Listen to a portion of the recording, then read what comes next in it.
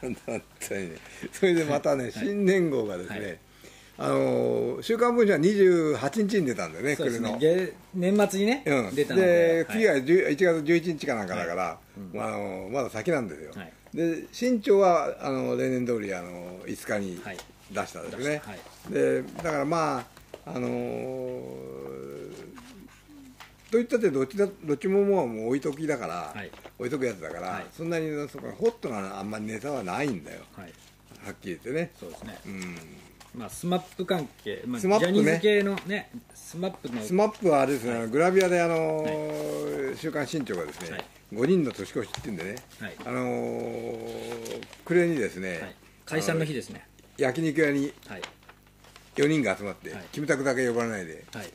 そこにあのー、森君が前に辞めたですね、ね、姉さんになってた森が来てですね、はい、えー、焼肉食ってたと言うんですけどね、あのそのこの「週刊新潮」のグラビアよく全員撮りましたね、しかもよくその焼肉屋っていうことを突き止めたよなこれがそうですね、うん、誰かをこう追っかけてると、自動的にそこ行っちゃうのかね。ああそうかもしれないですね、うん、年末だから何かやると思ってたんですかね、うん。はい、いやその情報はね新聞なんか出たんだよ。あそうですあのスポーツ紙なんかに、はい、あの集まるっていうのは、はい、ちょっと前にスポニチとかね、はい、あのこれはサンスポなんだ、大晦日木村以外の4人だけで都内において慰労会を行うっていうふうにサンスポは報じたんではい、でその前にあの要するに、えー、日刊スポーツがですね「スマップは紅白出ない」ってスクープ、はい、スクープっていうのをはっきり打ち出しましたからね、ね、はい。うん、翌日たちが後追いする一方でサンケイスポーツのみが大晦日木村以外の4人だけで都内において慰労会を行うこれはサンスポの担当記者がですねジャジャニーズ事務所の幹部に日韓だけに抜かせるなんてひどいじゃないですかと詰め寄ったんだってこの情報を得たらしいんだけどね。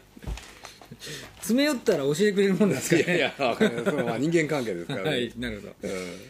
だけどねこのね、はい、写真グラビアでねこれモノクロなんだけどね、はい、このすごいんだよ。このねあの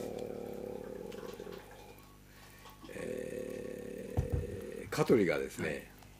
すごい帽子かぶってます。服装がですね変なねこんなとんがって帽子かぶってるの山高帽みたいな。これは極秘であったとは思えないぐらい目立ちますね。目立つよそれでこの 何香取がさまたやっぱ帽子かぶってさ、はい、それでこの革ジャンなんだけどさ、はい、表地には鳥や蜂そして花の刺繍に金属の飾りボタンをあしらい、はい、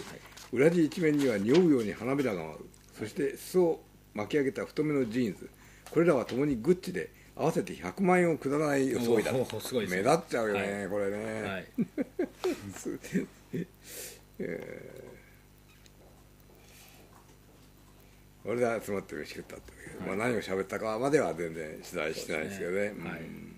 でキムタクが来ないと、うん、結局まあえー、でまあドラマにはそれぞれ出るんだけどね、ね、あの、はい、一人ずつ出たりするわけ、うん、キムタクもそうなんだけど、まあえー、今年の9月で契約が切れるから、はい、それで4人が独立するんじゃないかと、はい。えー、いうことですよね、うん、どうなんですかね、ね。はい。まあ十分にお金はあるいやもう十分あるでしょう。十分にお金はありますけど、うん、何もしなくてもいい続けてはい、売れるかどうかはまた分からないですね、うん、はい。でまあ先週やったように飯島さんがなんか作動してるという話もあるんだけどどうなんですかね、はいはいはい、これもわからないですけどね、うん4人じゃしょうがないわけでしょうからね、だけどあのファンの新聞広告もすごかったね、はい、朝日新聞8ページにわたってね、ね。はい、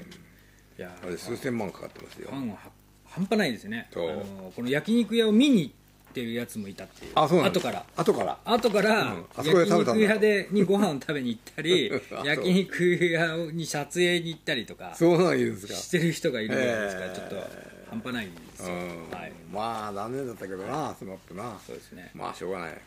4人でまたグループ作るんですかね。どうなんですかね。歌は実質今でも1人は歌ってないですから3人で歌う。またなんか、はい。なんかの機会に集まってやってくれるといいけどね、はい、まあそのぐらいのあれにしとけばよかったと思うんだけど、はい、こじれこじれちゃってるんだからね、うん、どうなるかね分かりませんけど。